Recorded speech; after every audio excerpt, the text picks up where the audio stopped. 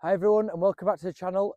In today's video we're going to be talking you through how to get spin with our wedges. So there's four main things that we're going to discuss today. There's going to be our equipment, our technique, the golf course and also the conditions that will come into play when we're talking about spin in as golf shots. You know, it's a question I get a lot uh, from golfers asking how do we put spin on? How do I spin it? What things we do change? How do you do that? How do we spin it back on the green? All these questions. So we're going to look at answering them today. Now, first thing that has to be right for us to have spin is as equipment. So I'm talking about the club mainly. So we can't have any mud on the surface. So that has to be taken off. Even checking your grooves in there, if we can see on there, so getting all the little, all, all the grooves out there, all the bits of mud out of there, knife, brush, anything like that, that has to be clean. And also the grooves have to be sharp and fresh. So if your grooves are worn out on your wedges, maybe time to look at new ones if you're wanting that spin and more control around your around your chip shots and your full shots as well. So if we see mud on your clubs and covering them grooves, do not expect to get any spin. Um, so mud is not as friend. Get that off your clubs. And also moisture um, when hitting shots. If there's water on your clubs, or anything like that, that will go against it. That will create less spin on your shots. So if it's a day like today, where we've got like a little bit of dew on the ground, and uh, I see it a lot when you have a practice swing, and I do it a lot myself. You have a practice swing, club picks up that water, that's got to be dried off before we hit the shot. So you can you can use this and everything we're going to say today in like your pre-shot routine. So you select a club, um, you're looking at your shot, check your golf club to make sure there's no mud in there, dry it with your towel um, before you're hitting that shot. So for more spin, we want to get into them grooves, clean them, make sure they're sharp, dry the club, no moisture, then we're ready to go. So next, onto the golf ball. So to create that spin, we want to be using a soft cover golf ball. Uh, so when the club hits it, it's easier to generate that spin. So for some golfers who might be using a harder shell golf ball for maybe more distance in the golf shots, you've got to weigh up whether you're wanting that distance in your shots or you're wanting uh, the spin that we're trying to generate. Um, that can be uh, you can be deciding on that or you could be moving to a more premium golf ball which can then offer you both but obviously making the cost of the golf ball more expensive so the next part is onto his technique and how we would swing it to help us generate spin um, on our golf shots. So basically we're looking at loft on this there. So if I've got the golf club like that, that is then giving us the loft on the club, which is going to generate spin. So we want that. And as you can see on the shaft is remaining like that. If we have his hands too far forward, that's de-lofting the club and taking the spin off. And then if we go too far back, that can be, you know, we can be hitting the ground, hitting the ground below and then not no spin at all and just blading his shots. But we've got to be careful here of flicking it through like that and we're wanting to maintain maintain the golf club straight up like that, which is then maintaining that loft on the golf club that you can see there.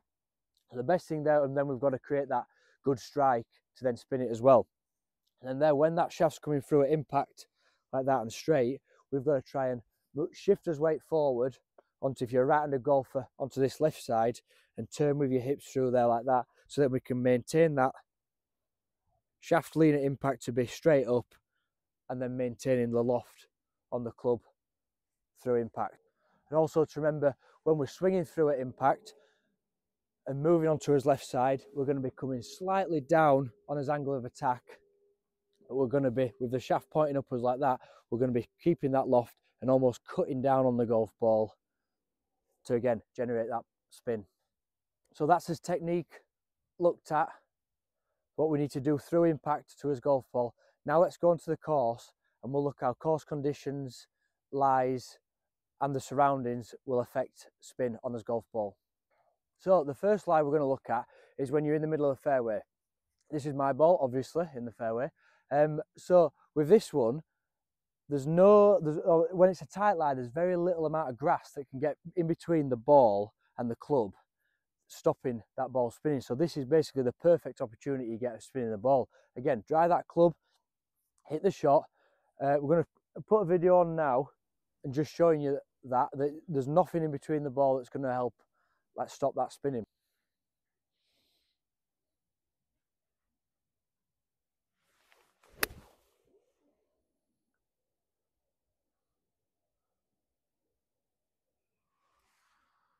So here we've got we've, here we've got a lie, which is like in the semi-rough, which is a little bit of a sneaky one and can easily fool you. Because here we've got a little bit of grass between the ball and the club that's going to be impact. We've got, it's a little bit wet. This is one where it's going to take a lot of the spin off your ball. So this is what you could get called a flyer. Now it might be something that you have to take into consideration. Well, I know I definitely do when you're playing these shots because we're going downhill to this pin think it's 100 yards and this is where you might club up because there's potential for a flyer. And on this one we've got out of bounds over the back of the green very very easily from this semi rough to get what we call a flyer where there's no spin on the golf ball which then leads to more distance in your club and obviously your target you're then over it and flying over the back of the green. So as you can see it's not it's not like a bad lie in the rough. You'd still look at that and think, oh, it's okay. But you've got a lot of grass there between club and ball, a lot of wetness. So, like I said, there'll be a lot of spin taken off this shot, resulting in the ball flying a lot further potentially for that flyer. And this is what can also be very like influential in your club selection. Because here, if you if this this, this is my club that goes about 100, 105 yards, my 54. If we've got this here in that lie, I'd be tempted to go up to maybe a 58 just in case that flyer. Here on this hole we happen to be downhill so if I was short it wouldn't be too much of a problem because it could roll into the green but if we went long on this hole we're out of bounds and we're dead.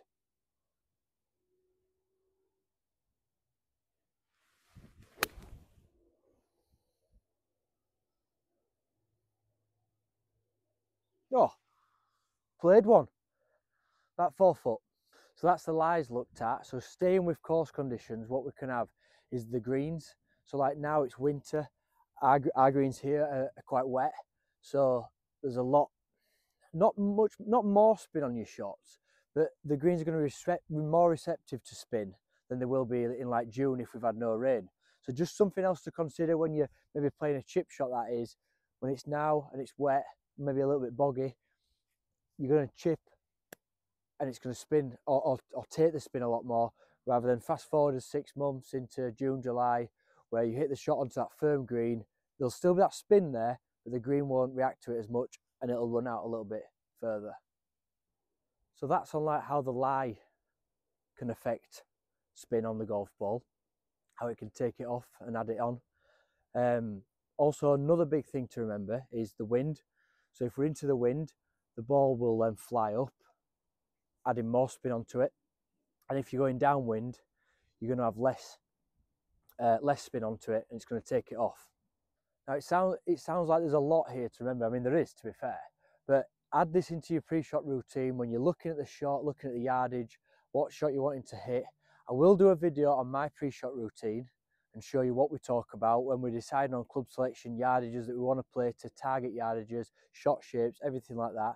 So stick around for that. Thank you very much for watching. If you've got any questions, let me know. Drop us a comment, drop us a like. Please subscribe to the channel. I'm carrying on practicing. We'll see you later.